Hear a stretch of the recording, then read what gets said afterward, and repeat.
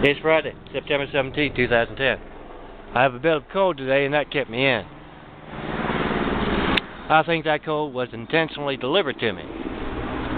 It's very easy to conduct amateur biological and chemical warfare. Here's an example. You work in a company and uh, you got this employee you want to fire, but you can't. You don't have the authority. Just keep assigning those who have colds, the flu, are sick in one way or another to work with this guy. Sooner or later, you know, he'll get tired of the sick days and getting sick. He'll quit. Now, behind the scenes, uses stuff that's much more sophisticated.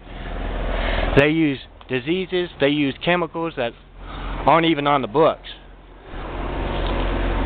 If you guys out there work in those areas, get down video. Make behind the scenes videos of the work you do.